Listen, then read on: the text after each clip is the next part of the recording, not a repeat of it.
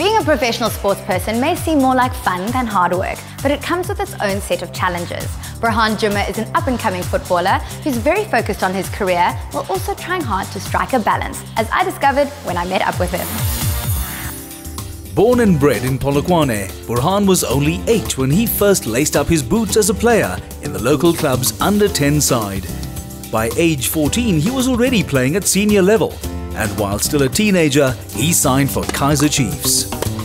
Football in South Africa isn't a game, it isn't a business, it's an absolute obsession. And I'm not gonna lie, I might be a little bit obsessed with soccer player Burhaan Jooma. So I decided to meet him off the soccer pitch, but for sports crazy Burhaan, that meant on the tennis court.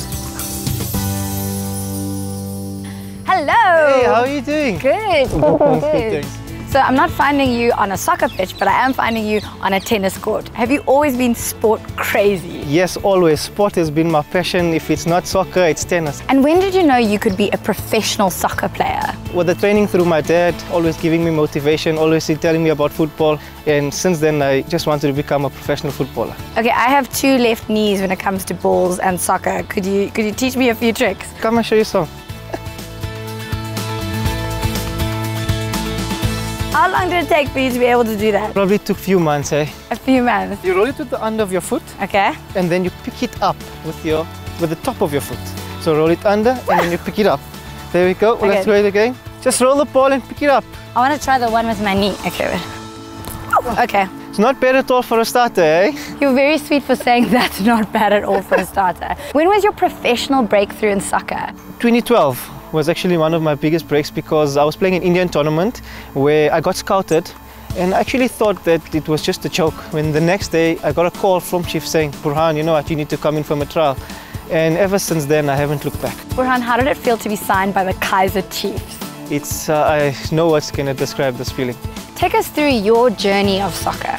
I played soccer in Polokwane for my school. It progressed playing for my local team, which is Nirvana United as well. Why are you so successful as a soccer player? I'm a central midfielder and I'm a left-footed, so that actually makes me unique and different from other players because you very rarely find left-footed in South Africa. And who or what has helped you succeed to this point? I am where I am today is because of my family and my wife who's been pushing me and always motivating me to do my best. And well, this is for them. I just want to give them the best and this is what they deserve. I obviously need more practice out here, but I know we've got a photo shoot lined up, so let's head out. This would be an opportunity to meet Burhaan's wife, Adila. Hello, hello. Hi, hi, Zach. Great to meet you. You too. I'm going to leave you guys to it. You're looking like you're doing great work. Okay, guys, let's stand over there. Let's take get some good social. Beautiful. It's beautiful. Is that a squiz? You're not bad at what you do.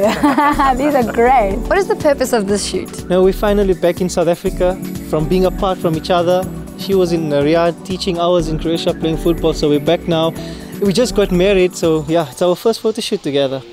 Burhaan and Adila got engaged before she left for Saudi Arabia, and they then spent a year apart before she returned and they could tie the knot.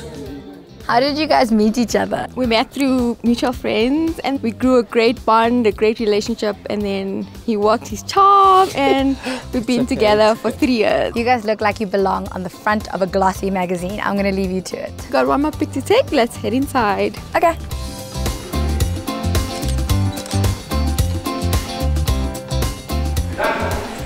Thank you so much. Thank you, Yusuf. Being a professional footballer means you're often in the public eye. How do you guys deal with this? Every person that comes to you, you just have to deal with it in a good way, in an open mind. We basically just accept any challenge, any criticism together. We one team.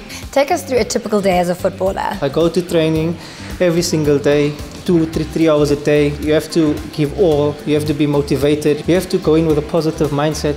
So, where do you see yourself in five years' time? Obviously, Manchester United. It's always been my dream to play for them since I was a kid. I always supported them. And yeah, Zlatan, I'm out to get you. Zaki, we have loads of friends and family waiting for you downstairs to join us for a scrumptious lunch. Shall we go? I would love that. I'm famished after all that soccer.